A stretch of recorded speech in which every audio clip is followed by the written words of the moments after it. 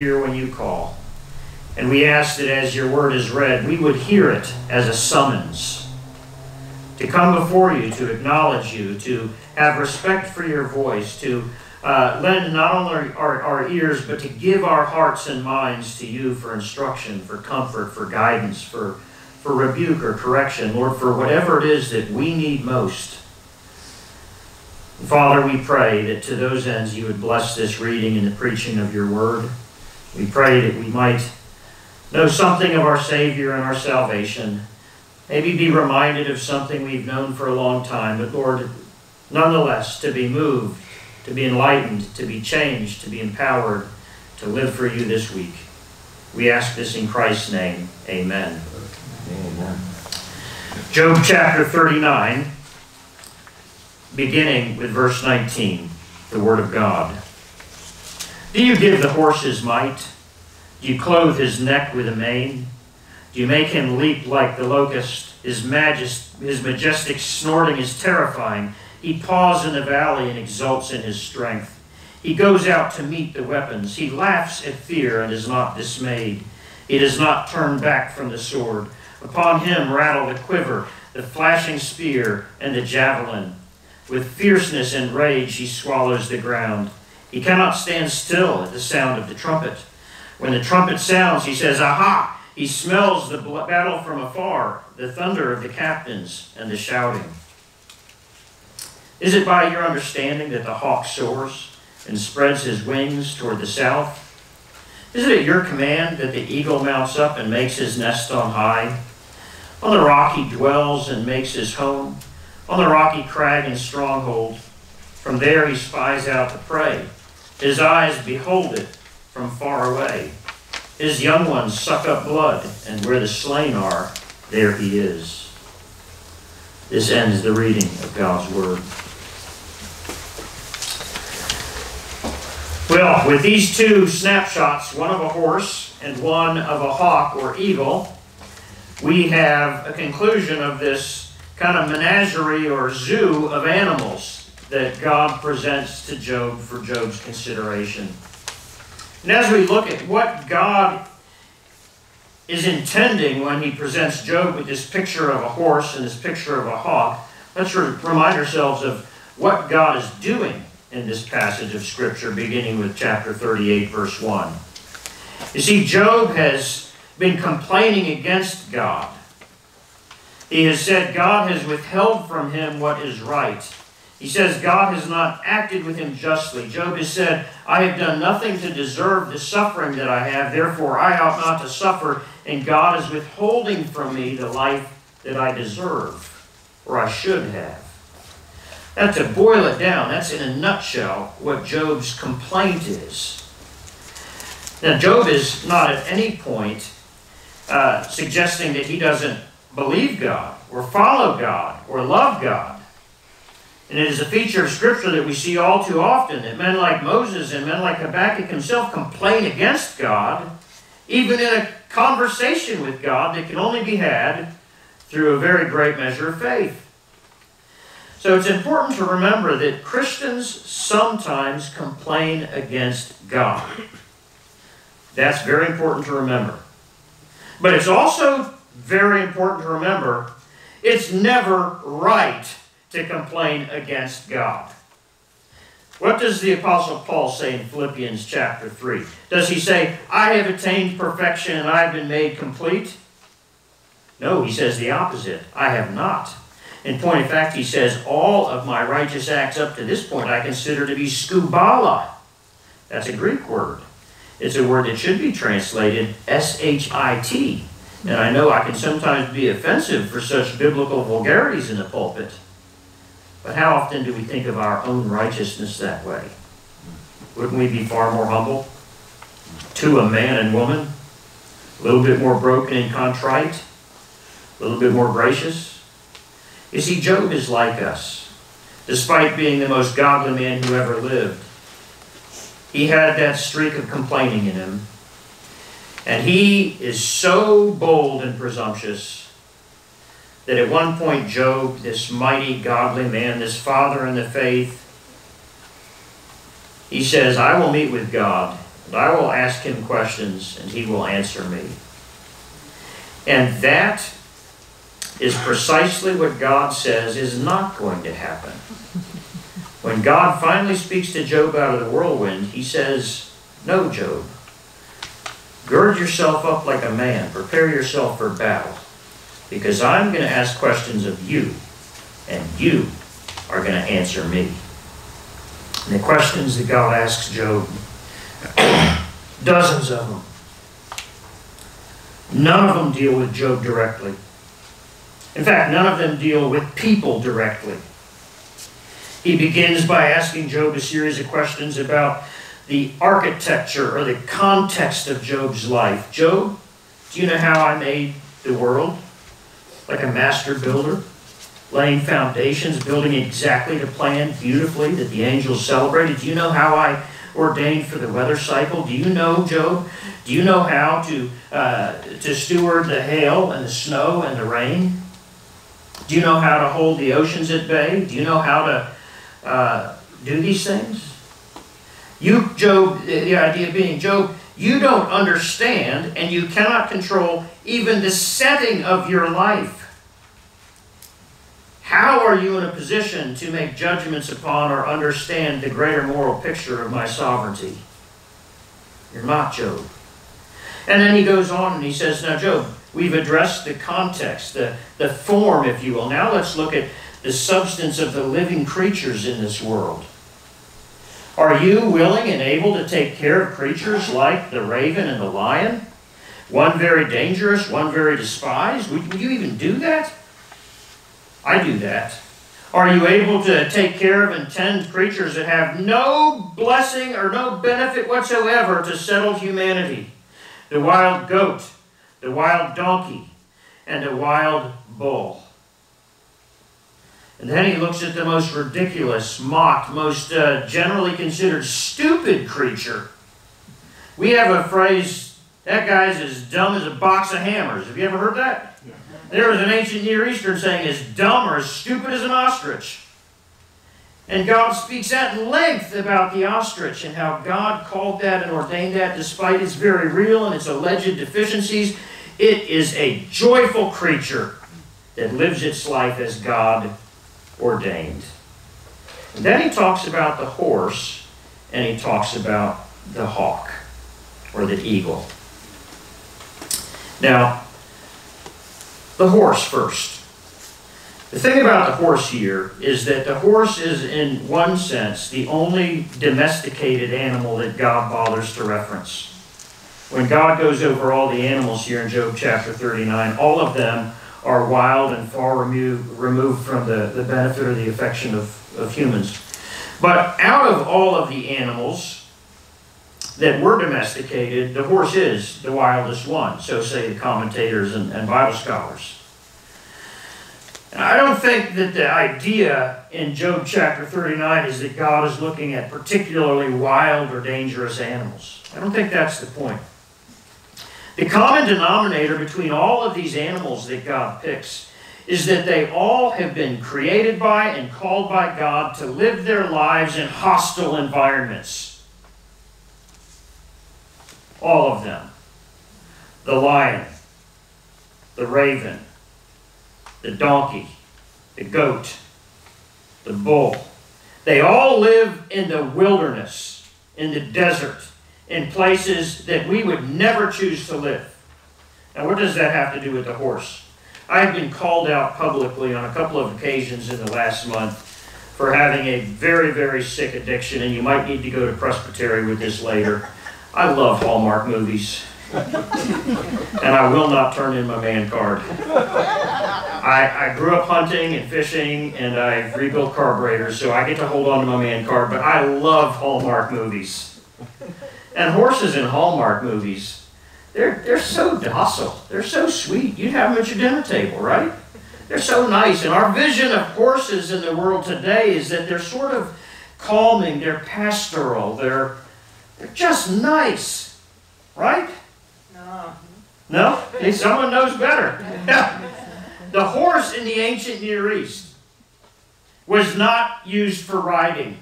Donkeys were used for riding. The horse was not used for agricultural purposes. It never pulled a plow in the ancient Near East or in Egypt. That was the job of the ox. The horse was singularly used in ancient Near Eastern cultures from Babylon to Egypt to Greece as an instrument of war. That's what it was used for. It was used for what we would today class mounted infantry. You know, the stirrup hadn't been invented and wouldn't be invented for centuries to come after the fall of Jerusalem in 70 AD. So when you hear references to uh, Solomon's stables, those horses were not used for people to ride on with spears and lances. They didn't even have, Israel didn't even have mounted bowmen. That took a lifetime of training without stirrups. They used them to pull chariots. Or they used them for kings to ride upon, or for soldiers to get from point A to point B, and then they dismount and go fight on foot. But the horse was trained for battle. That's what the horse was. It was a creature that was military. And this picture of the horse is a picture that is mighty. And it's an unusual word for mighty. That's why it's not merely strength. Did you give the horse his strength? This translated, did you, did you give him his might? Did you clothe his neck with a mane? Some of the older translations put with thunder because of the waving, uh, shaking effect of it. But it's also a word used for mane, and the mane was associated with the horse and the lion. Wasn't generally referred to with a donkey, even though arguably it has one too. You leap like a locust. You, you have the ability, the power, the strength to do this. This majestic snorting, you know, pawing the valley. That's literally the translation, but we understand that to be like when a horse stamps the ground in expectation of, uh, of charging at someone, going out to meet weapons. And there's descriptions of the weapons, by the way. The quiver, the bow and arrow, the spear, the javelin were all weapons used from the back of a chariot. So here is a horse that is majestic, it is powerful, it is strong, it is courageous, it has, for lack of a better word, fortitude. Its might consists in the fact that it is utterly undaunted by the fact that its whole purpose in life is lived in a context of blood, sweat, and tears. It is designed for the hour in which it lives, and it lives in that hour. That is in the ancient Near Eastern imagination what that little model of, a, that Breyer model of a horse up on your bookshelf when you're a child was in the ancient world. It was an animal that God had created that had a purpose and lived that purpose well, even when that purpose was an utterly hostile environment. And I want you to think about how that might have been a challenge or an encouragement to Job. I hope that none of us in this room actually love conflict. Because to me, that's almost uh, borderline psychopath. We don't, we shouldn't love conflict. We should love peace. How pleasant it is when brethren dwell together in unity, the Psalms teach us. Peace is what Jesus leaves his disciples. It is peace that we pray for.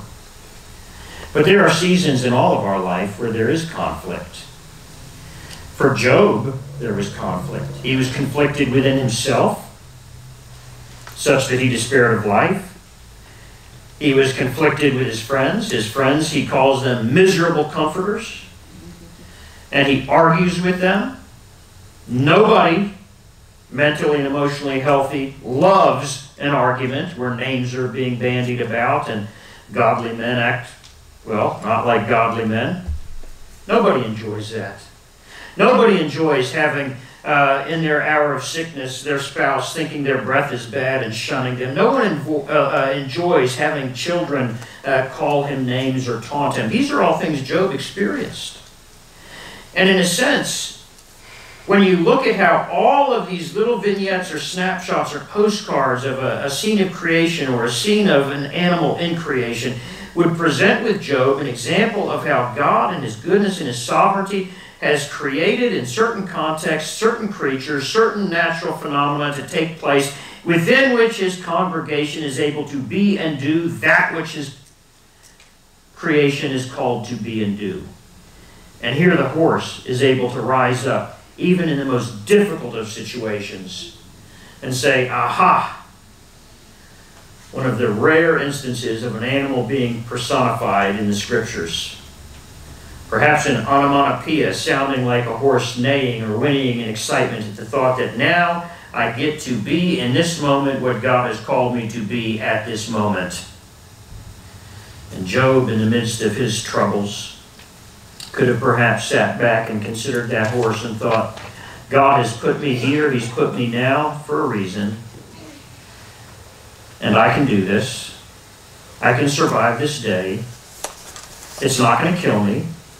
And you know, if it does kill me, I'm just going to be with the Lord. but too often, when we experience difficult times, you are tempted to do exactly what I want to do. Psalm 11 Flee to the mountains and hide.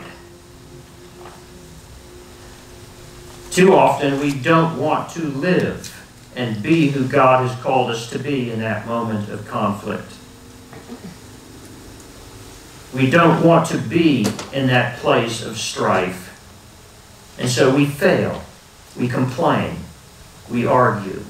We get petty and we lack the moral reserve or the spine to be God's woman, to be God's man in that day of battle. And instead, we become free agents. We become like the people of God in the days of the judges and do whatever is right in our eyes. Or we become like Job and we completely collapse within ourselves and wish we had never been born.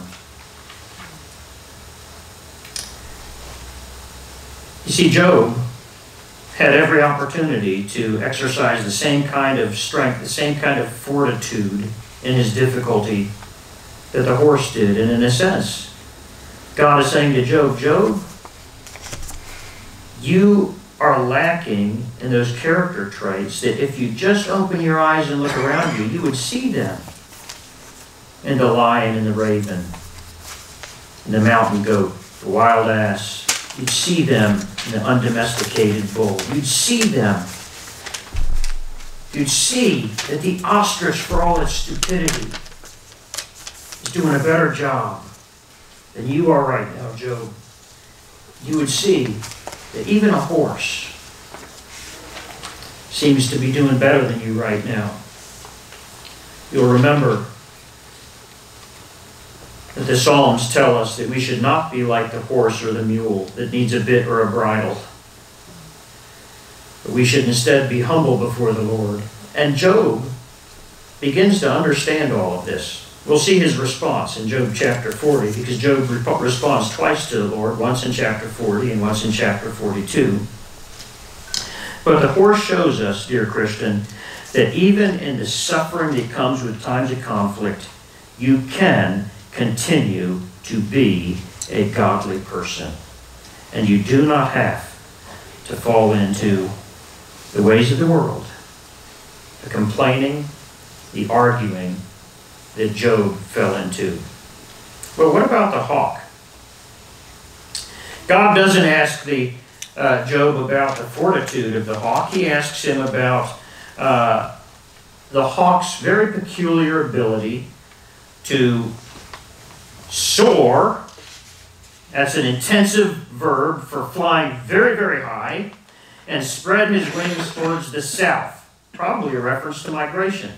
And a lot of the uh, Bible scholars that really dig into the different features of animals in the text of the Old Testament in particular say this is probably a reference to the kestrel.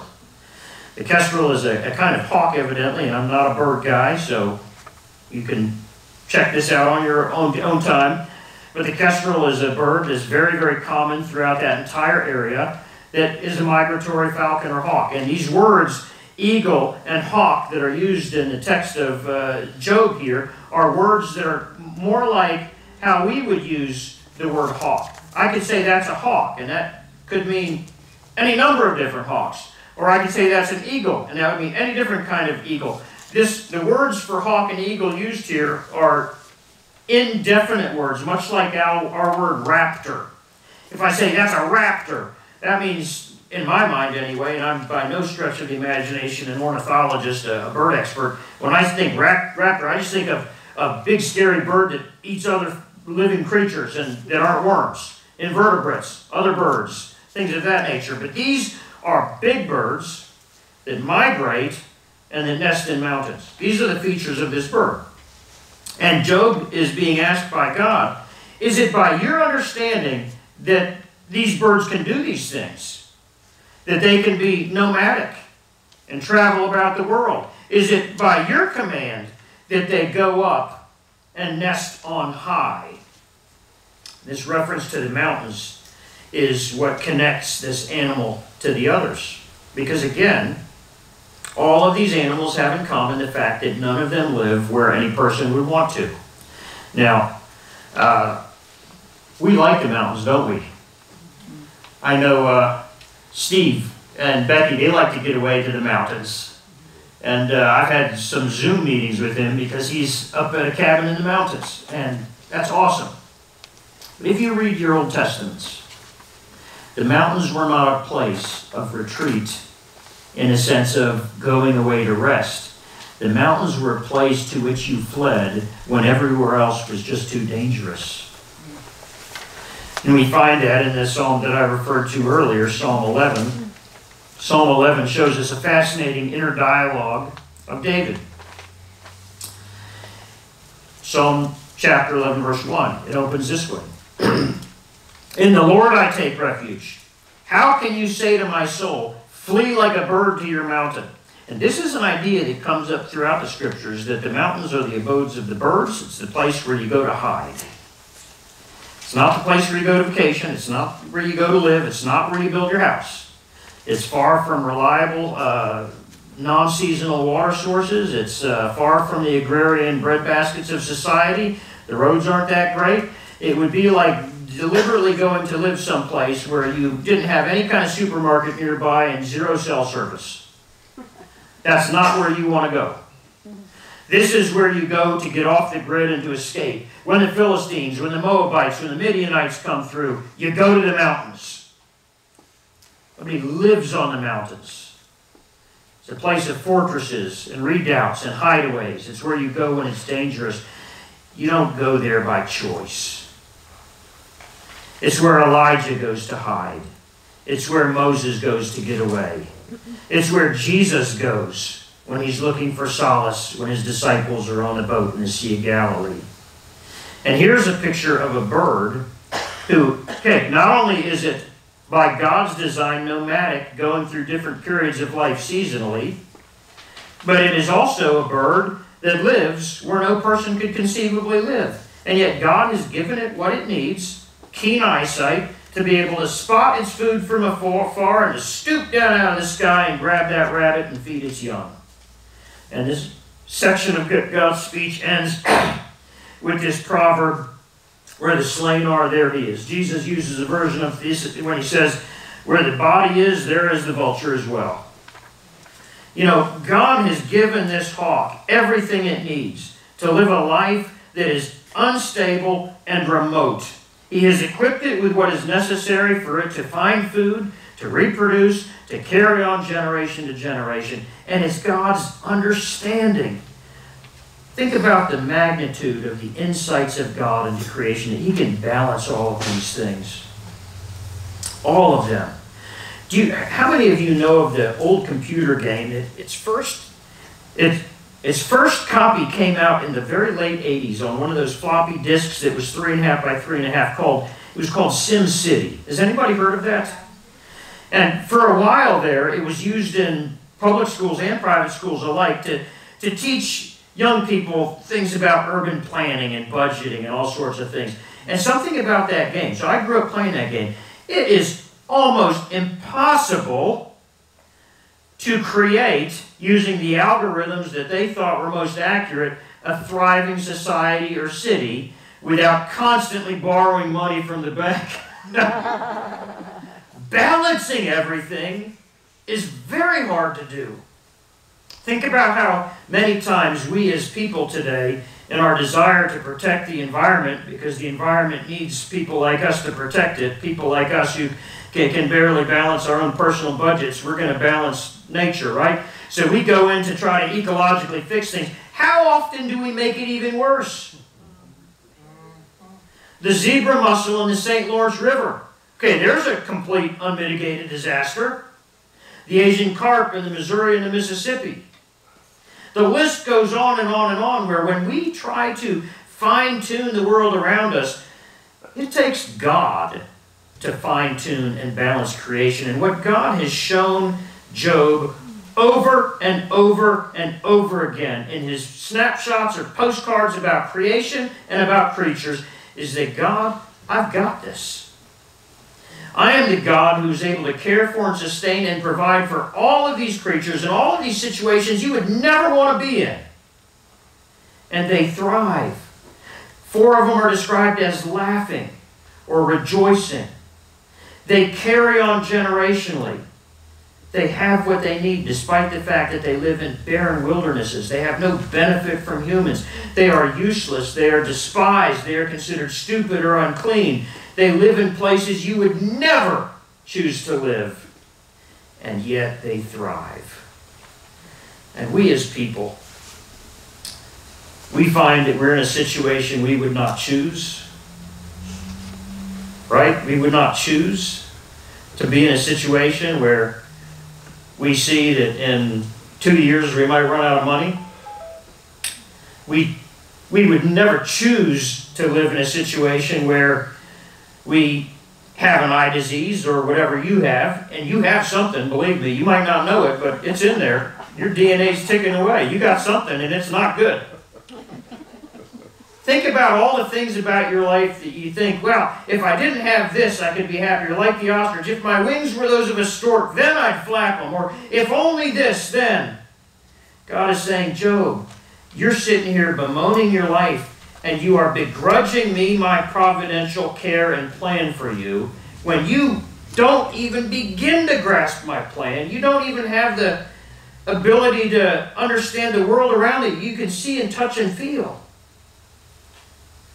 All these other creatures, they, by God's design, have a simple confidence that the Lord will feed them and they will live and they live their lives joyfully frolicking as the whale does on the waves, or flapping wings like the ostrich in the desert.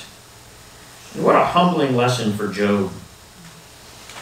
That no matter what the circumstance or context of his life is, he needs to be focused on being and doing what God has called him to be and do. Just like the ostrich did, just like the horse does, just like the hawk does, just like the goat and the donkey and the bull, and the lion and the raven. I want you to think, dear Christian, about those things in your life that you find inadequate or undesirable, or that you wish were different. Maybe there are things about your biography. Maybe there's things in the past that are mountains for you that you just can't shake. Maybe there are deep regrets Maybe there are things that you've done or things that have been done to you. Maybe there are things that concern the contours of your life in terms of your health or your wealth or your, uh, your relationships or your number of followers on Instagram. We are a weird species, so concerned about so many things that really need not concern us. I want to invite you to think back over all these messages on the creatures and the creation that God gives Job. And allow God's word to humble you and simply recognize that God has put you right here, right now, so that his glory and grace might shine through you and be a blessing to others. He has blessed you that you might be a blessing. And from your mountaintop, from your desert, from your swampy, reedy stream bank with the bull, from your unclean pit that the raven likes, from wherever it is that you are, in the worst terms you can imagine, bless somebody. Run with abandon, fly high, stamp the ground and flare your nostrils like a horse and live. Live.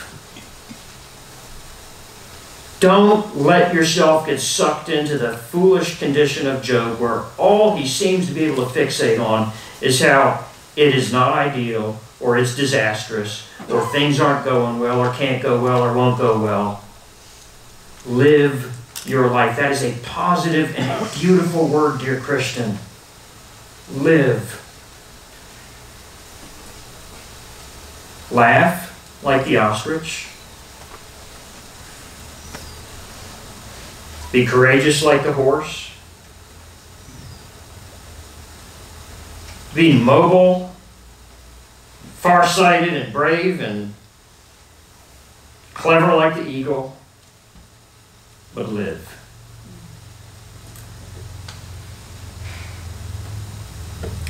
I can't tell you how much I hope some of my lacrosse guys are going to be here today. This past week, after one of them came and heard the sermon on the ostrich, all I heard about on the practice field was the ostrich. that sermon almost went viral in my own little uh, congregation of lacrosse athletes. Did we practice like ostriches today, coach? A couple of you did. Uh, and I was hoping they would come because one of my great desires is to see people live. And the only way you can live what I would tell them if they were here today, and I will tell them tomorrow when I see them. The only way to really live is to follow Jesus Christ. Amen. Don't follow your checkbook. Don't follow your Facebook account. Don't follow the Times newspaper. Don't follow other people. Don't follow sports. Don't follow the arts. Follow Jesus. And do what you can to point other people in this wilderness, mountaintop, bizarre desert experience of living on this side of heaven in a creation that groans for renewal. Do what you can to bring someone with you before the throne of grace. Almighty God, we thank you and we praise you that we're able to look at creation and see such beauty and to see such awesome intelligence at work. How we can marvel.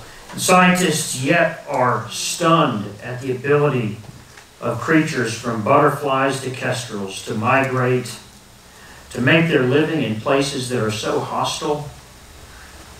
There are cellular forms of life that live even in the volcanic eruptions under, under the ocean. Lord, it's, it's mind boggling how life is possible. And Lord, our life is possible. We can truly live in any circumstance, even in a circumstance where we are bereft of our family, where we have lost all of our money, where we are filled with disease, where our friends scorn us, where our wife despises us. We can live.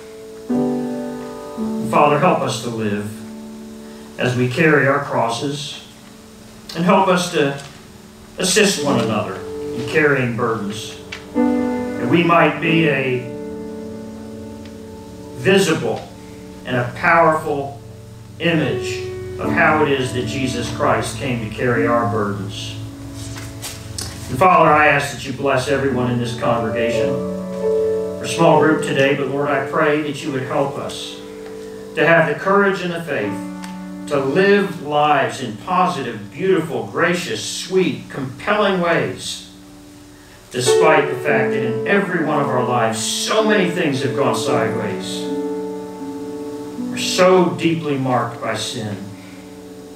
Yet, by grace, we can laugh, we can fly, we can run, we can worship.